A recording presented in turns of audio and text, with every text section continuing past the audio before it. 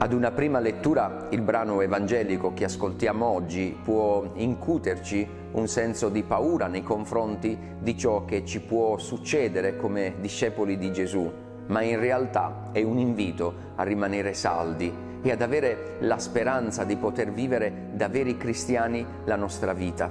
Gesù ci promette un legame forte con Lui, non dipende tutto da noi, Gesù non ci lascia soli, è Lui che ci dona la parola e la sapienza per poter testimoniare la verità.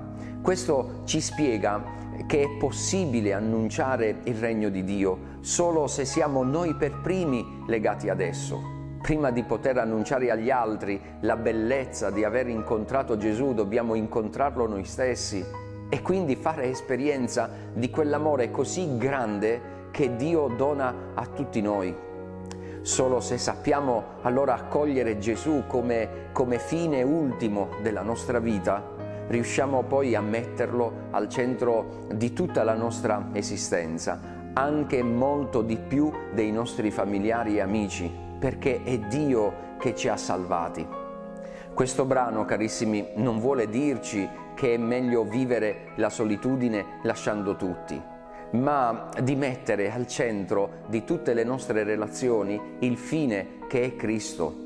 Solo in questo modo, come ci dice nel versetto 18, non ci verrà tolto neanche un capello del nostro capo. Indica una protezione particolare che Dio rivolge ai suoi figli e quindi a noi.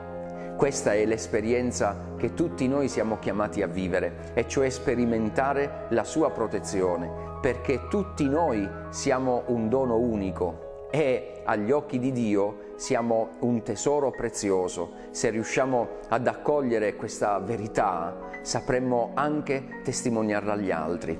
Buona e santa giornata a tutti.